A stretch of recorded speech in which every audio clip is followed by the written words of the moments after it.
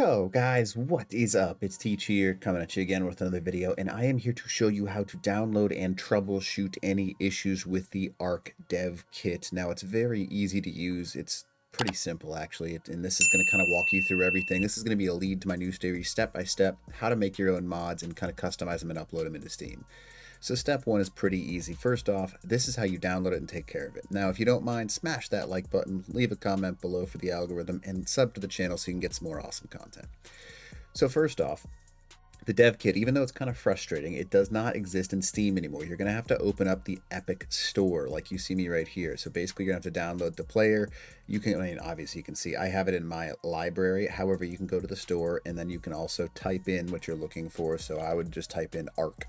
Um, now, essentially, when you type in ARK, you're going to pull up all the different types of menus. You can see the mod kit and then the base game right here. All you got to do is click on the base, uh, the mod kit, not the base game, the mod kit. And it's going to put it into your library. You just have to download it. It is free, but it's an absolutely massive download file. Um, I think mine was 250 gigabytes, so it does take a long time. Now, that being said, once you've downloaded it, it's pretty easy. As long as you have the room for it on your space, that's the easy part. Now, a lot of people have initial, because it's such a massive file size, the probability of something going wrong in your library is huge. So this is how you fix the errors that are probably going to come up. So basically you're going to go over here and then go to verify. Now verify is going to pull up a screen and what it's going to do is essentially it's going to say please wait and then you can click on your download section. It's going to go through and initialize and basically figure out everything that you have right here. So it's going to show your download, reading, and writing. When you're doing, when you're basically what you're doing by doing this is you are looking at the original files online, so the original files that are in the store.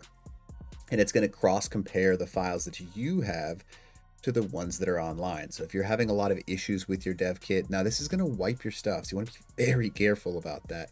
Um, at least some of your save files will not save for this. If you've got some save files that you're already in, you should be good. But you can see right here that I'm reading, writing, all this kind of stuff. You're going to read pretty much the entire thing to see what's missing. And then it's going to reinstall everything that you need. So for the dev kit, this is what you want to do if you're having any issues. And this is like the solution to that.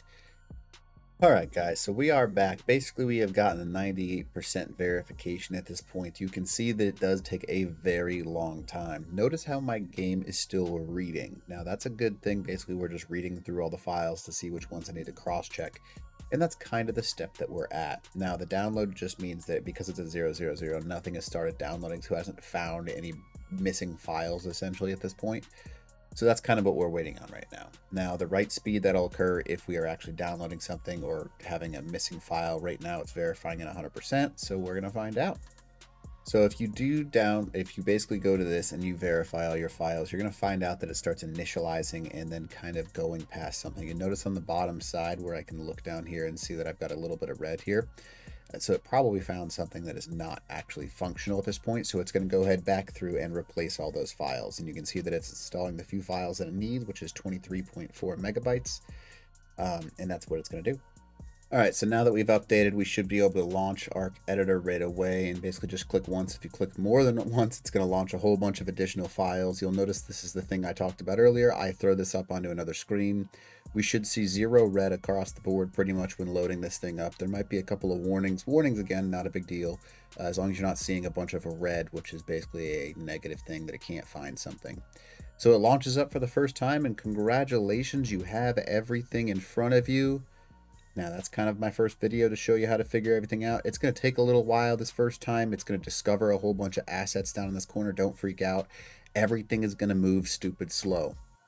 The first few times you open this thing, it's going to take forever. So don't think it's broken.